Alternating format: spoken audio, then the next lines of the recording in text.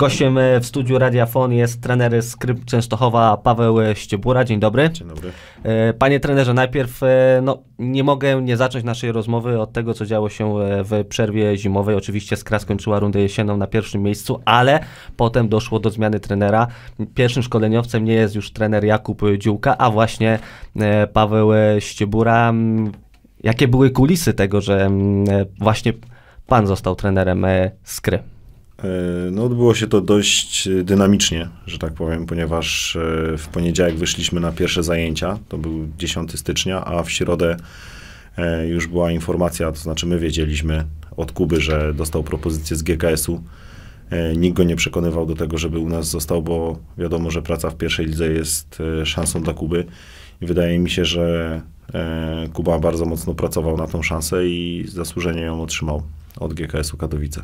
E, rozmawiał pan e, z nim o tym, były jakieś konsultacje, kiedy już dowiedział się pan, no mogę no. być pierwszym trenerem. Mhm. To znaczy, no generalnie no, to była taka e, powiedzmy naturalna kolej rzeczy, ponieważ e, w poprzednim przypadku, kiedy e, z klubem rozstawał się Piotrek Mrozek, to e, naturalną rzeczą było to, że Kuba będzie trenerem pierwszym i tym samym tokiem rozumowania poszliśmy w tym przypadku, że Kuba zmienia barwy klubowe, idzie dalej się rozwijać, więc yy, powiedzmy gdzieś tą schedę po sobie pozostawił dla mnie. Czyli nie było wątpliwości na zasadzie, o, może, może nie podołam, może ktoś inny, fajnie, że klub we mnie, e, fajnie, że klub mi ufa mhm. na tej zasadzie.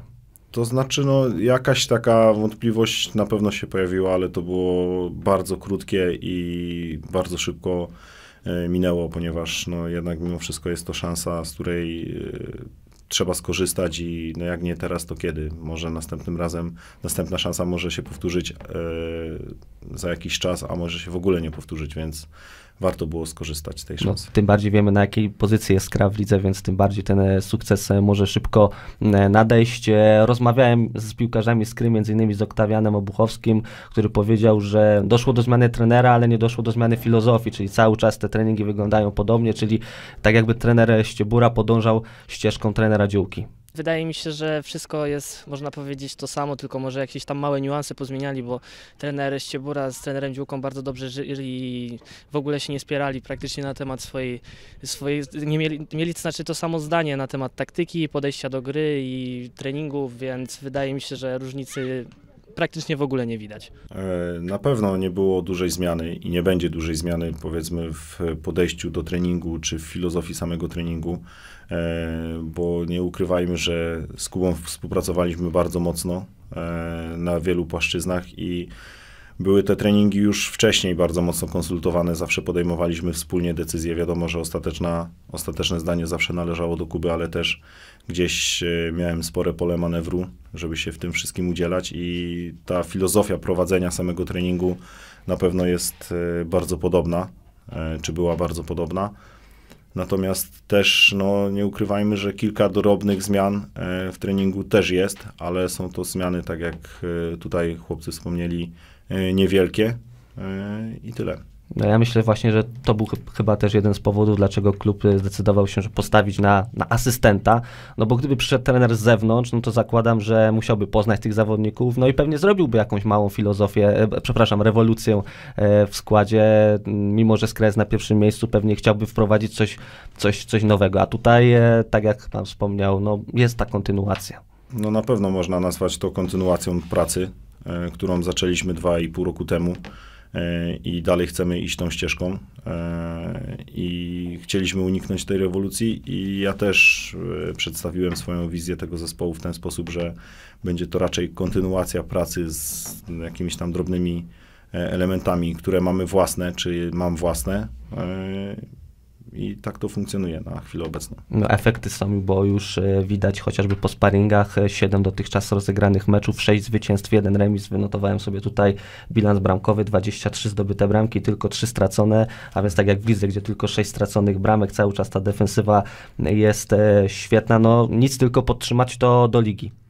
Na pewno sparingi są jakimś odzwierciedleniem formy zespołu. E, i przyjmujemy filozofię, że zespół ma być w każdym momencie e, okresu, czy to przygotowawczego, czy startowego, przygotowany na 100%. E, I tak staramy się do tego podchodzić. Sparingi rzeczywiście wyglądają, wyniki w sparingach rzeczywiście wyglądają bardzo dobrze. Natomiast też mm, no, bierzemy na nie poprawkę, bo sparring to jest jednak zawsze sparring, a mecz ligowy to jest zawsze mecz ligowy, który nakłada na zawodników dodatkową presję czy oczekiwania ze strony kibiców. E, i różnie może to wyglądać w lidze. Natomiast gdzieś cały czas jesteśmy czujni, nie, nie podniecamy się wynikami tych sparingów i wyciągamy z, wnioski z błędów, które popełnialiśmy w tych sparingach i chcemy doskonalić to, co nam wychodziło dobrze w nich. No w sparingach też ważne jest to, aby sprawdzić właśnie formę zawodników, przetestować różne warianty. Co, co jest fajne, to myślę, że, że fakt, że trząs zespołu został taki sam, nie było rewolucji e, kadrowej, nikt nie odszedł, bo mogły być zakusy na tych najlepszych zawodników z, z wyższych e, lig. Mm, innymi słowy, no status quo. E, dokładnie. Kadra została taka sama poza Robertem Brzęczkiem, który zawiesił swoją karierę piłkarską. Pozostali zawodnicy zostali, nikt nie odszedł, bo jeżeli się jest na pierwszym miejscu z perspektywą walki o wygranie ligi, no to ciężko jest z takiej szansy nie skorzystać. E, jak będzie na koniec sezonu, zobaczymy, bo nikt nie jest w stanie tego do końca przewidzieć. Na pewno będziemy starać się walczyć w każdym meczu e, o trzy punkty i myślę, że to dla zawodników też jest atrakcyjna e, perspektywa.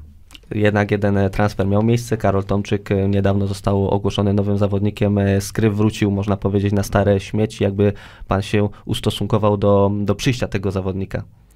No rzeczywiście, Karol, można nazwać go transferem last minute, e, ponieważ pojawił się już w ostatniej fazie tego okresu przygotowawczego. Wcześniej testował się z tego, co wiem, w Bełchatowie i w Kluczborku.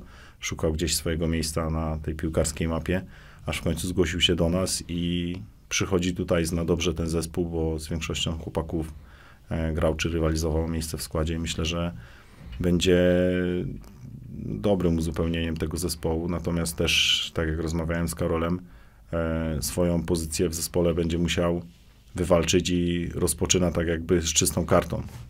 Do rozpoczęcia sezonu jeszcze trochę czasu zostało i o ile się nie mylę, to proszę mi poprawić, dwa sparingi pozostały do, tak. do końca tego okresu przygotowawczego.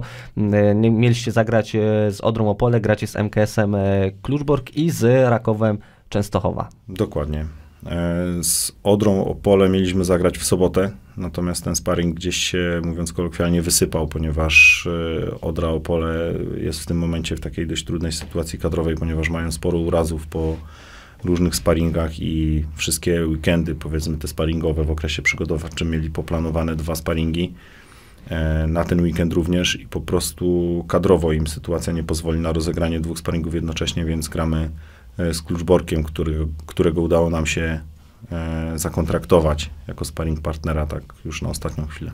Te, te, ci rywale zazwyczaj drugoligowi, czwartoligowi, o tym też wspominał chociażby prezes e, Wierzbicki. Brakuje trochę tych rywa, rywali z, z, trzeciej ligi, a więc z waszego pułapu naprawdę było ciężko ich sobie załatwić? To znaczy, gdzieś wcześniej już mieliśmy ustalony plan przygotowań, gdzieś wcześniej mieliśmy po, poumawiane te sparingi i tak akurat wyszło. No, może rzeczywiście e, nie mamy okazji konfrontować się z zespołami z naszego szczebla rozgrywkowego. Jedyny mecz, który zagraliśmy z zespołem trzecioligowym, to mecz z rezerwami Legii, który zakończył się wynikiem 1-1. Natomiast no, myślę, że sparingi szczególnie z tymi drugoligowymi klubo, klubami są dla nas wartościowymi sprawdzianami i też gdzieś e, dają odzwierciedlenie naszej obecnej dyspozycji. No i muszę zapytać o to, co, co może być e, w przypadku rozgrywek w rundzie wiosennej. Mhm. Skra walczy o, o awans. E, ten awans, Pana zdaniem, jak bardzo jest realny? Tak jak już wcześniej powiedziałem, nie powiem tu nic nowego i nie odkryję jakichś nowych kart, ponieważ zawsze będziemy podchodzić do tego tak samo jeżeli efektem naszej pracy czy pracy zawodników będzie awans, będzie super. Natomiast jeżeli nie uda nam się go wywalczyć, bo piłka jest e, dyscypliną, w której jest wiele przypadków i trzeba mieć wiele szczęścia, jeżeli nam się go nie uda wywalczyć, to też się nic nie stanie. Natomiast my podchodzimy do tego w ten sposób, że każdy mecz e, chcemy grać o trzy punkty, z meczu na mecz być coraz lepszym zespołem. I tak to funkcjonowało do tej pory i myślę, że tak pozostanie. A jeżeli będzie awans, no to będzie to bardzo duży sukces e, klubu i tych zawodników, którzy stanowią o sile tego zespołu. Patrząc na tych wszystkich rywali, z którymi walczyliście w rundzie jesiennej, kto Pana zdaniem będzie takim największym, e, najtrudniejszym przeciwnikiem e, dla Skry? Czy to będzie Stalbrzeg, a może Gwarek Tarnowskie Góry? Kto innymi słowy zrobił na Panu największe wrażenie? No ta liga jest bardzo wyrównana i tutaj każdy może wygrać z każdym, bo pokazywały to wyniki, gdzie drużyny z końca tabeli wygrywały wygrywały z drużynami szczołówki i e, tak to wyglądało w całej tej rundzie jesiennej. Jeśli chodzi o najgroźniejszych rywali, ciężko powiedzieć. No, każdy mecz jest tutaj bardzo trudny i dla nas najtrudniejszy mecz, który graliśmy e, z meczów na przykład u nas, to był mecz z Zagłębiem Lubin, które zgromadziło, z tego co dobrze wiem, 20 punktów, a u nas na boisku prezentowało się bardzo dobrze i był to dla nas bardzo trudny mecz, co pokazuje jak wyrównany i jak wyrównana i trudna jest ta liga. No to zanim postawimy kropkę w naszej rozmowie, to jeszcze można skorzystać z okazji. Trener Paweł Ściebura ma teraz możliwość zaprosić kibiców na mecze rundy wiosennej, bo wiadomo, że z tą frekwencją bywało różnie w trakcie rundy jesiennej. Wiadomo też, jakie są realia w naszym mieście. Tutaj wielu kibiców chodzi przede wszystkim na pierwszoligowy e, Raków, ale Skrat też ma swoich kibiców i może mieć ich jeszcze więcej, chociażby patrząc na tabelę. Więc można teraz wykorzystać okazję i zaprosić ich, zachęcić nam na mecze Skry. No na pewno tego dopingu troszeczkę nam brakuje na trybunach i chcielibyśmy, żeby było jak najwięcej tych kibiców. E, tym bardziej, że piłka jest dla kibiców. E, my będziemy starali się robić wszystko, żeby było ich jak najwięcej i z tego miejsca chciałbym wszystkich kibiców i sympatyków piłki nożnej w naszym regionie zaprosić e, na mecze o Mistrzostwo Trzeciej Ligi. Dołączamy się do tego. Paweł Ściebura był gościem Radia Afon. Dziękuję za rozmowę. Dziękuję bardzo.